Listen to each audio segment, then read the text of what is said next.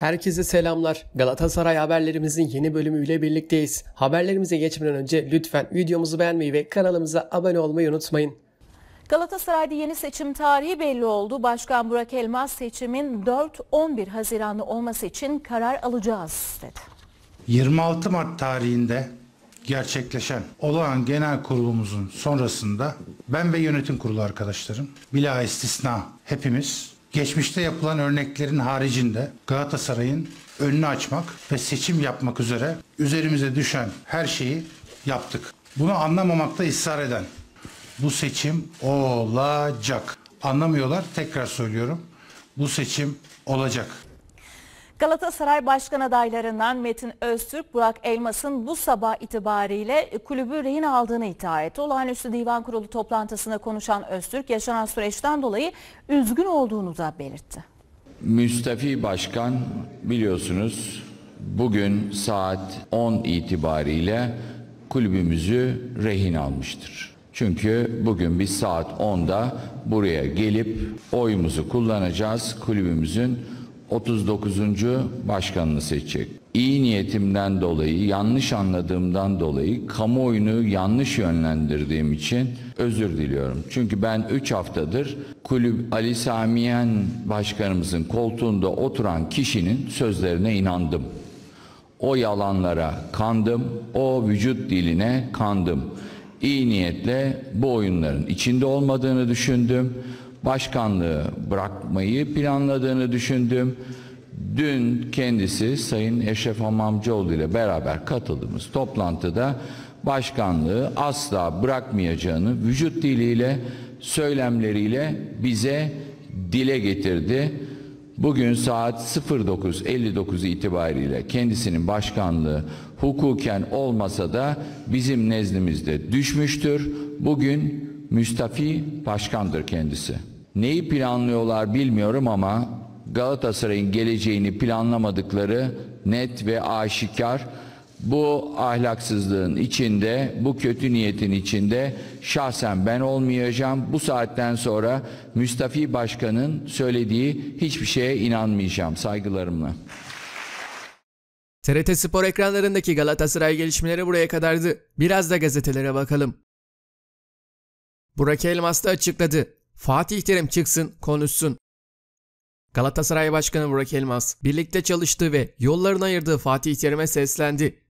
Burak Elmas, bir çağrımda Galatasaray siyasetinde kendi iradesi olmasa da kullanılmaya çalışılan Sayın Fatih Terim'edir. O da çıksın konuşsun. Bütün herkes konuşsun. Herkes bildiklerini anlatsın. Galatasaray'da bir rahatlasın açıklamasını yaptı. Torrent'ten de Pulgar ve Babel raporu. Galatasaray Teknik Direktörü Dominic Torrent'in takım ile ilgili bir rapor hazırladığı iddia edildi. Takvimin derlediği habere göre raporda Ryan Babel ile Pulgar'ın takımda bir yıl daha kalmasını istediği öğrenildi. Sezon sonunda sözleşme sona erecek olan Ryan Babel'in Championship takımlarından biriyle anlaştığı iddia ediliyordu. Peki dostlar bu konuda sizin fikriniz nedir? Ryan Babel'in bir yıllık sözleşmesini uzatılıp Pulgar'ın bonservisi alınmalı mı?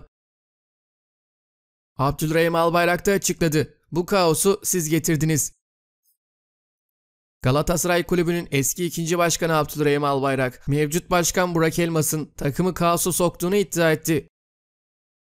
Galatasaray Kulübü'nün olağanüstü divan kurulu toplantısında dün yapılması planlanan olağanüstü seçim genel kurulu mahkeme tarafından durdurulması sonrası yaşanan gelişmeleri değerlendirmek için Galatasaray Lisesi'nde gerçekleşti.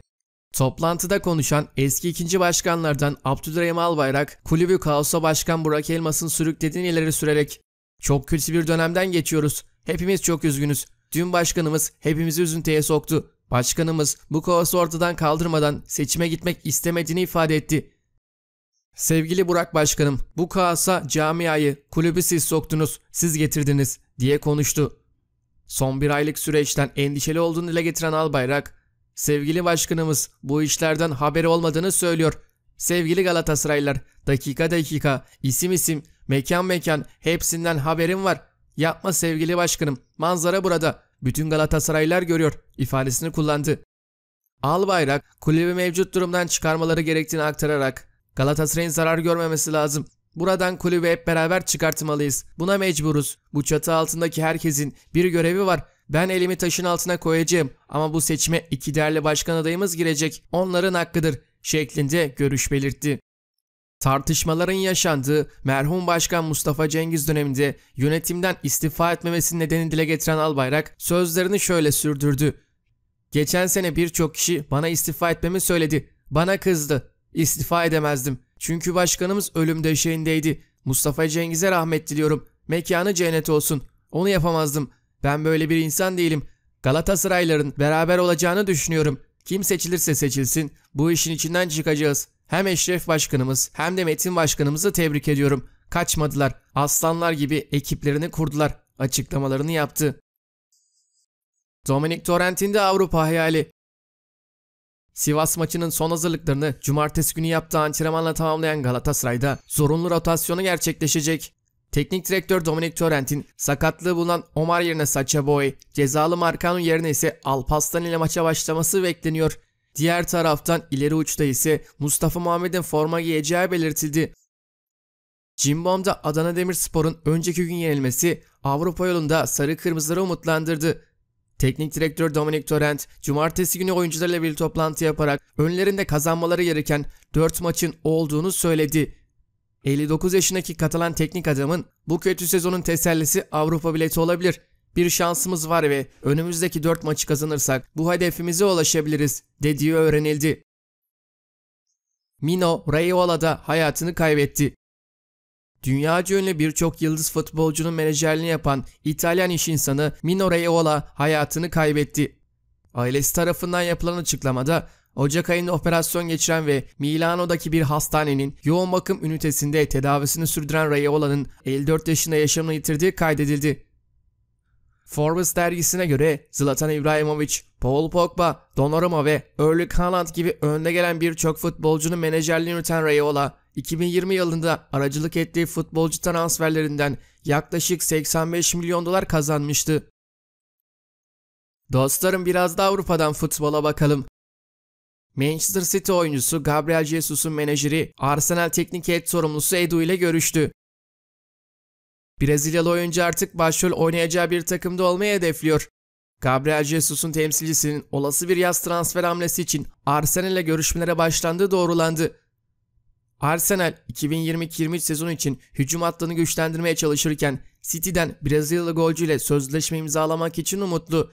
Gabriel Jesus bu sezon İngiltere'de oynadığı 24 maçın 17'sinde ilk 11 başlamış olsa bile daha düzenli bir şekilde forma giymek istiyor ve önemli bir rol arıyor. PSG'nin sözleşmeyi uzatmayı düşünmediği Angel Di Maria Juventus'a transfer olabilir. Fransız ekibinin ekonomik nedenlerden ötürü sözleşmesindeki opsiyonu kullanmayacağı Di Maria yeni sezonda Serie A'da boy gösterebilir. Lig 1'deki 10. şampiyonluğunu ilan eden PSG'nin Arjantinli yıldızı Angel Di Maria sezon sonuna ermesiyle birlikte 7 yıllık PSG kariyeri noktalamaya hazırlanıyor. Di Maria da PSG'nin kontratındaki uzatma opsiyonu kullanmamaya karar vermesi üzerine Juventus'e temaslara başladı. Ağustos 2015'te 52 milyon euro karşılığında United'dan transfer olduğu PSG'de çok sayıda başarı elde eden kanat oyuncusu bu sezon vatandaşı Pochettino'nun da vazgeçilmezleri arasında yer aldı. Teknik direktör Allegri'nin tecrübesi ve kalitesi nedeniyle Di Maria'nın transferine sıcak baktığı bilinirken PSG'de oyuncuyu bırakmaya hazır görünüyor. Di Maria ailesinin Paris'te yaşamasından memnuniyet duyması nedeniyle takımda kalmayı arzularken büyük bir maaş kaybına uğramak istemediği için Arjantin'e dönmeyi düşünmüyordu.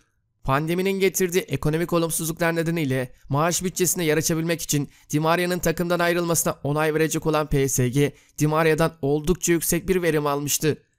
Yıldız futbolcu kulüpte geçirdiği 7 sezonda 291 maça çıkarken bu karşılaşmalara 91 gol ve 117 asist sığdırarak kalitesini kalitesini ortaya koymayı başarmıştı. Dostlarım videomuz buraya kadardı. Bir sonraki videoda görüşmek üzere. Hoşçakalın.